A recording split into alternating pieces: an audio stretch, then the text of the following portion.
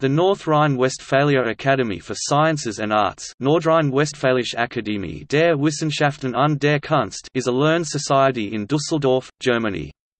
It was founded in 1970.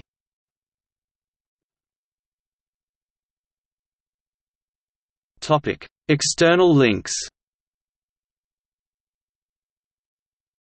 http www.org.nrw Da